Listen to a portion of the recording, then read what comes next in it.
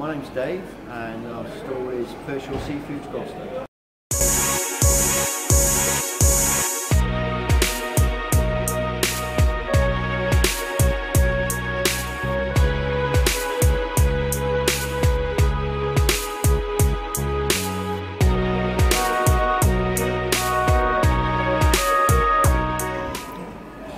Been at Eastgate Market now since May this year, so it's just coming up to seven months. It's a really good place to work, everyone's fun and friendly, and everyone helps each other out if there's a problem.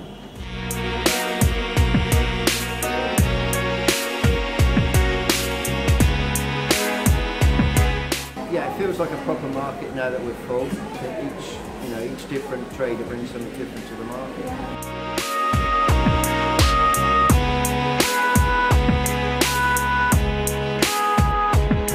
We sell a lot of salmon, a lot of uh, live lobsters, a lot of shellfish, and then a lot of prime things like brill, turbot, monk, lemon soles, dover soles. So quite quite diverse.